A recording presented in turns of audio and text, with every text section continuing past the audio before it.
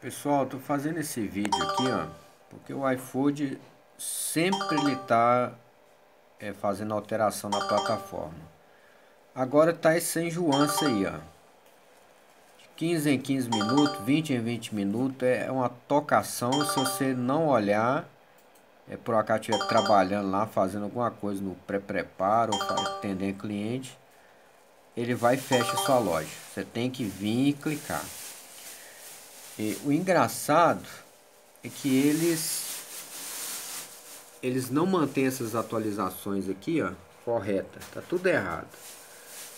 Tudo desatualizado. Isso aí eles não olham não, o que a gente precisa mesmo. E fica aí, ó, fechando a nossa loja toda hora à noite. É, e se você vai na entrega parceira, solicitar entrega fácil, tem entregador, entendeu?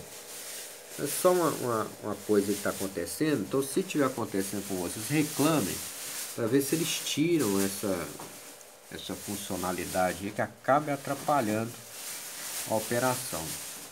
Você está passando por isso aí, ó. Deixa nos comentários aí, não deixa de abrir um chamado de reclamação para iFood para ver se ele tira esse essa esse incômodo aí toda hora tocando a o sinal aí para a gente ter que clicar.